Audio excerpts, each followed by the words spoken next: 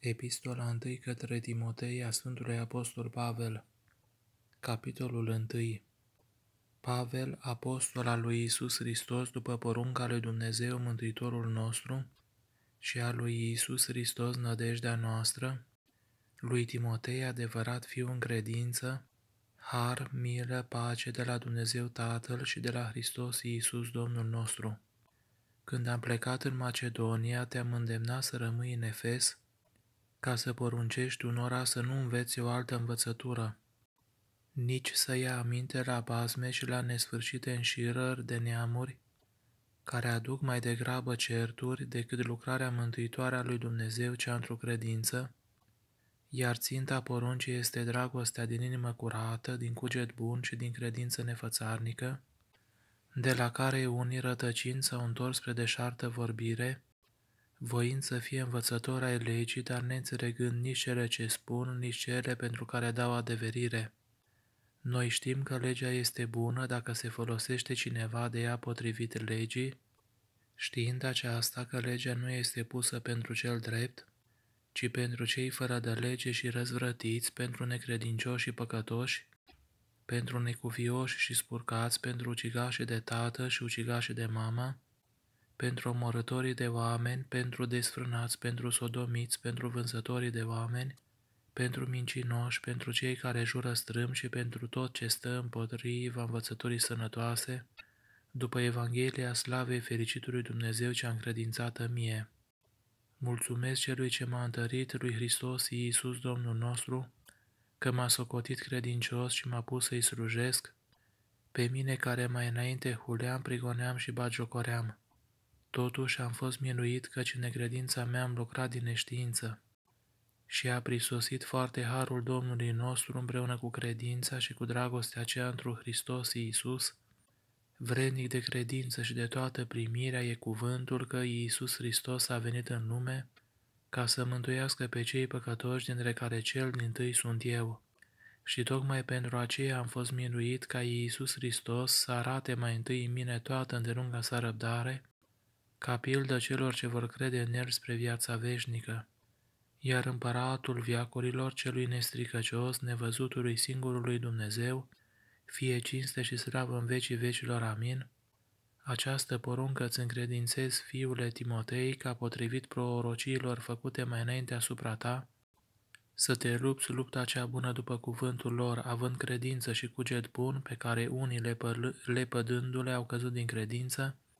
Dintre aceștia sunt Imeneu și Alexandru, pe care i-am dat satanei ca să se învețe să nu hulească. Epistola 1 către Timoteia Sfântului Apostol Pavel, capitolul al doilea. Vă îndemn deci înainte de toate să faceți cereri, rugăciuni, mijlociri, mulțumiri pentru toți oamenii, pentru împărați și pentru toți cei care sunt în înalte dregătorii, ca să petrecem viață pașnică și liniștită într toată cuvioșia și buna cuviință, că acest este lucru bun și bine primit înaintea lui Dumnezeu Mântuitorul nostru, care voiește ca toți oamenii să se mântuiască și la cunoștința adevărului să vină, căci unul este Dumnezeu, unul este și mijlocitorul între Dumnezeu și oameni, omul Hristos Iisus, care s-a dat pe sine preț de răscumpărare pentru toți, mărturia adusă la timpul său. Spre aceasta am fost pus propovăduitor și apostol, adevăr cresc în Hristos, nu mint, învățător neamurilor în credință și adevăr. Vreau deci ca bărbații să se roage în tot locul, ridicând mâini sfinte, fără de mânie și fără șovăire, asemenea și femeile în îmbrăcăminte cuvincioasă, făcându-și lor podoabă din sfială și din cumințenie, nu din păr împletit, ci din aur sau din mărgăritare sau din veșminte de mult preț, ci din fapte bune, precum se cuvine unor femei temătoare de Dumnezeu. Femeia să se învețe în liniște cu toată ascultarea, nu îngăduiesc femeii nici să învețe pe altul, nici să stăpânească pe bărbat, ci să stea liniștită. Căci Adam a fost zidit întâi, apoi Eva, și nu Adam a fost amăgit, ci femeia amăgită fiind s-a făcut călcătoare de poruncă, dar ea se va mântui prin naștere de fii dacă va stărui cu înțelepciune, în credință, în iubire și în sfințenie. Epistola 1 către Timoteia Sfântului Apostol Pavel, capitolul al treilea. Vrednic de crezare este cuvântul, De poftește cineva episcopie, bun lucru dorește. Se cuvine dar ca episcopul să fie fără de prihană, bărbat al unei singure femei, vechetor, înțelept, cuvincios, iubitor de străini, destoinic să învețe pe alții, nebețiv, nedeprins să bată, neagonisitor de câștig urât, ci blând, pașnic, neiubitor de argint, bine chivernisim casa lui, având copii ascultători cu toată bună cuvința, căci dacă nu știe cineva să-și rânduiască propria lui casă, cum va purta grijă de Biserica lui Dumnezeu? Episcopul să nu fie de curând botezat ca nu cumva trufindu-se să cadă în osânda diavolului, dar el trebuie să aibă și mărturie bună de la cei din afară, ca să nu cadă în ocară și în cursa diavolului. Diaconii de asemenea trebuie să fie cucernici, nu vorbind în două feluri, nu de dațe la vin mult, neagonisitor de câștig urât, păstrând taina credinței în cuget curat, dar și aceștia să fie mai întâi puși la încercare, apoi dacă se dovedesc fără prihană să fie diaconiți. Femeile lor de asemenea să fie cuvincioase, neclevetitoare, cumpătate, credincioase întru toate.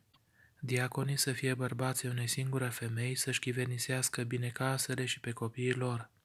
căci cei ce slujesc bine, rang bun dobândesc și mult curaj în credința cea întru Hristos Iisus.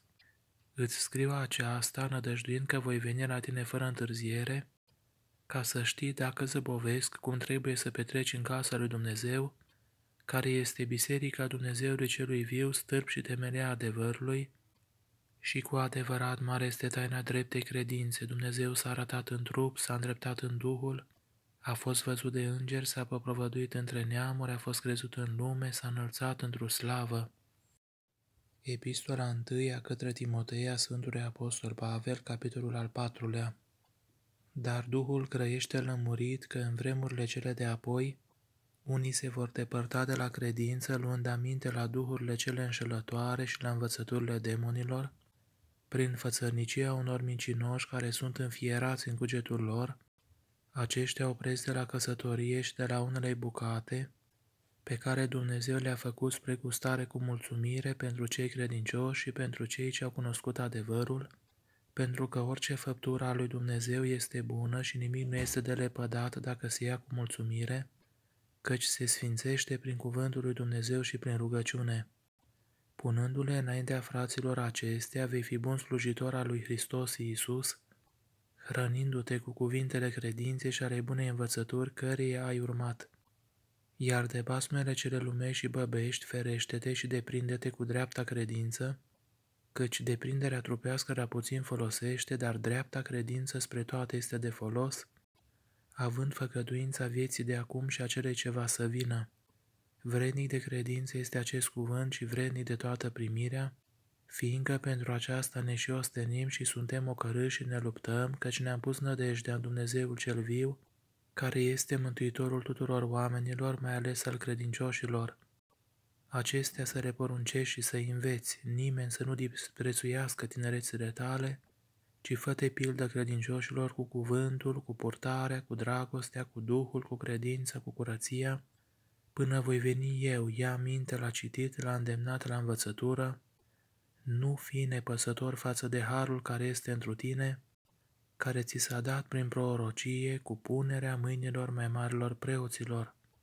Cugete la acestea, ține-te de acestea ca propășirea ta să fie vădită tuturor, ia minte la tine însuți și la învățătură, stări în acestea, căci făcând acestea și pe tine te vei mântui și pe cei care te ascultă.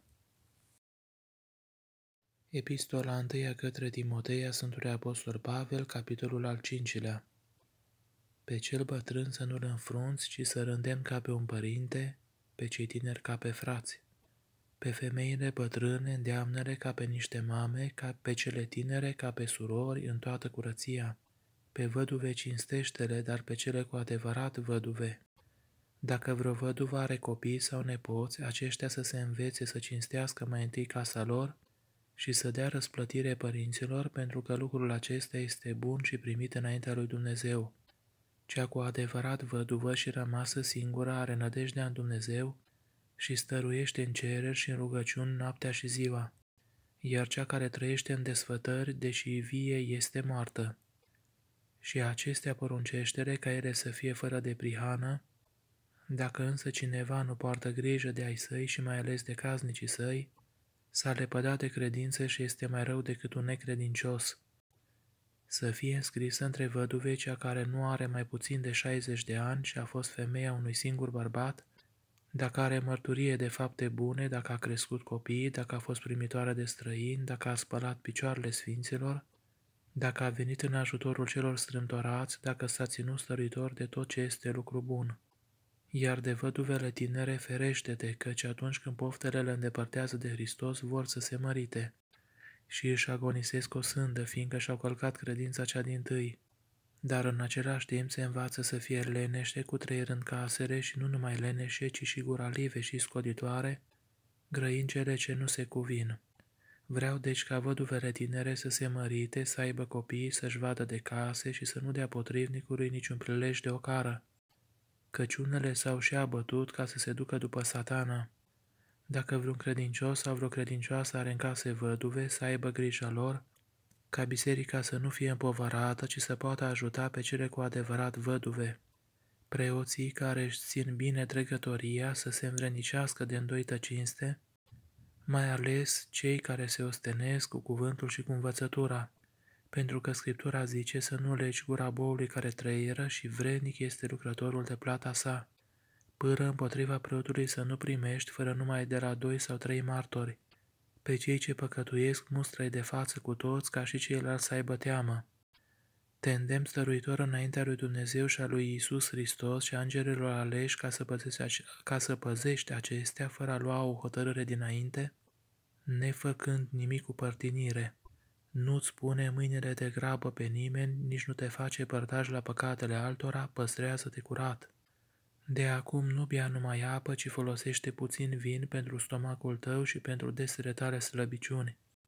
Păcatele unor oameni sunt vădite, mergând înaintea lor la judecată, ale altora însă vin în urma lor. Tot așa și faptele cele bune sunt vădite și cele ce nu sunt, altfel nu se pot ascunde. Epistola 1 către Timotei Sfântului Apostol Pavel, capitolul al șaselea Cei ce se găsesc sub jugul robiei să socotească pe stăpânii lor vrenici de toată cinstea, ca să nu fie hulite numele și învățătura lui Dumnezeu, iar cei ce au stăpân credincios să nu-i disprețuiască sub cuvânt că sunt frați, ci mai mult să-i slujească, fiindcă primitorii bunei slu- lor slujiri sunt credincioși și iubiți. Acestea învață-i și poruncește-le. Iar de învață cineva altă învățătură și nu se ține de cuvintele cele sănătoase ale Domnului nostru Iisus Hristos și de învățătura cea după dreapta credință, acela e un îngânfat care nu știe nimic, suferind de boala discuțiilor și a certurilor de cuvinte, din care pornesc ceartă, pismă, de făimări, bănuieli viclene, gâlcevi necurmate ale oamenilor stricați la minte și lipsiți de adevăr, care socotesc că evlavia este un mijloc de câștig.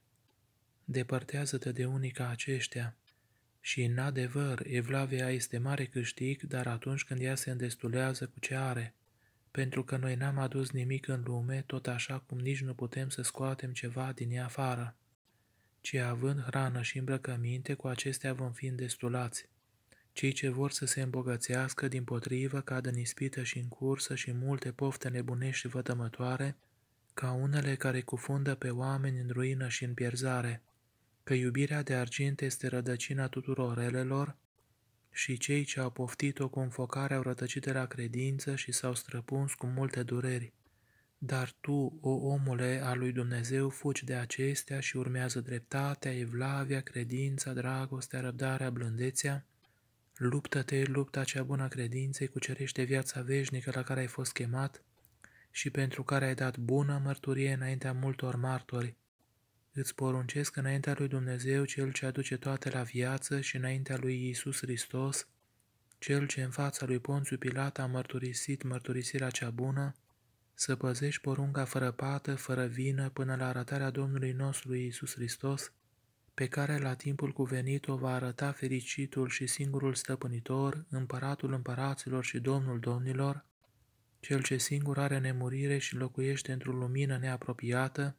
pe care nu l-a văzut nimeni dintre oameni, nici nu poate să-l vadă, a căruia este cinstea și puterea veșnică. Amin. Celor bogați în viacul de acum poruncește să nu se semețească, nici să-și pună nădejdea în bogăția cea nestatornică, ci în Dumnezeul cel viu care ne dă cu belșug toate spre îndulcirea noastră, să facă ce e bine, să se înavuțească în fapte bune, să fie darnici, să fie cu inima largă, agonisindu-și lor bună temelie în viacul viitor ca să dobândească cu adevărat viața veșnică. O, Timotei, păzește comoara ce ți s-a încredințat, depărtându-te de vorbirile de șarte și lumești și de împotrivirile științei mincinoase, pe care unii mărturisindu au rătăcit de la credință. Harul fie cu tine. Amin.